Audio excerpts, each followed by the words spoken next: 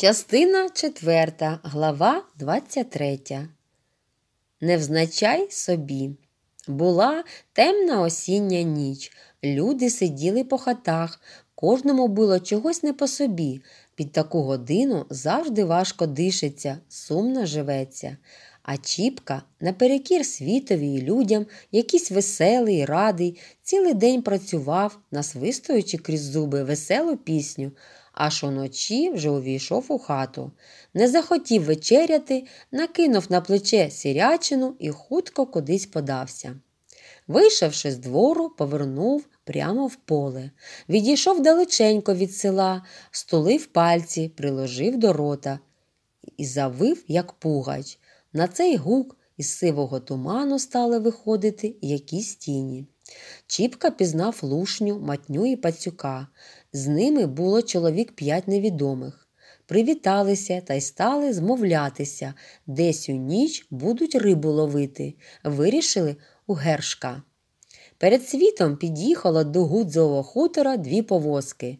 На них повно наших рибалок. Зайшли у хату і давай розказувати, як Чіпка врятував Максима, одним замахом вложивши здорового, як ведмідь кацапа, що ночував у гершка. Проклятий ведмедина піймав москаля у лабети, так здушив, що у того й дух п'яти заліз, а Чіпка виручив. Явдоха стала пригощати братчиків і вареним, і печеним. Максим поставив барило горілки. До столу підійшла Галя, подала печене порося та й задивилась на Чіпку. Серце у парубка забилось.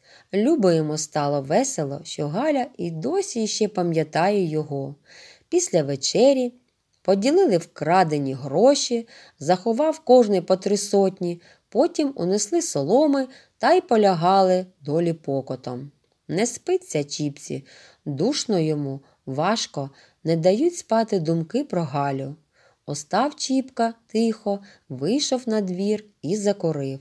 Коли чує, рипнули двері. Перед Чіпкою стояла Галя у тонкій, білій сорочці, в одній спідниці з розпущеними косами, що, як дві гадини, спадали на її білу шию і спускалися, намов витончені з білого мрамору плечі.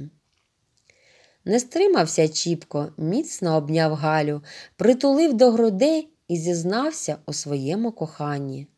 Нічого не сказала йому у відповідь дівчина, тільки обвела його шию руками, уста черконулися уст та й злилися в довгий гарячий поцілунок. Чіпка від нестями розвів руки, Галя висковзнула і скрилася.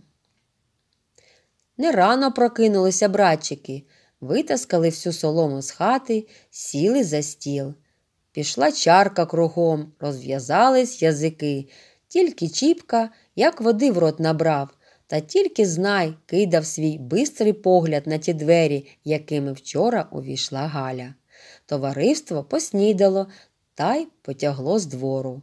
Пішов разом з друзями і Чіпка та раптом помітив, що кисета нема. Повернувся у двір і побачив Галю, яка сунула йому кисету у руки, а сама швидше у двері. Подивився Чіпка, всередині його кисети другий кисет з синьої шовкової матерії, вишитий червоними квітками. Тепло стало на душі у парубка. Він посміхнувся і весело повернув до товариства. Глава 24. Розбишацька дочка. Цілий тиждень лив дощ, як із відра. Цілий тиждень не виходив Чіпка з двору. Якось увечері Мотря заговорила з ним про невістку.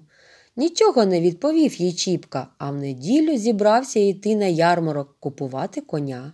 Тільки пішов не в омельник, а прямісінько до Гудзя на хутір.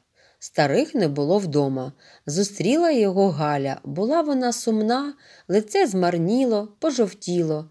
Чіпка спитав дівчину, чи піде вона за нього заміж, а Галя розповіла, що віддає її батька за москаля Сидора, який того дня, як усі пішли, зостався за столом та й змовився з Максимом за весілля.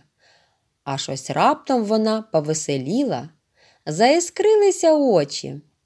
Вона надумала просити матір, щоб та умовила батька віддати її за чіпку.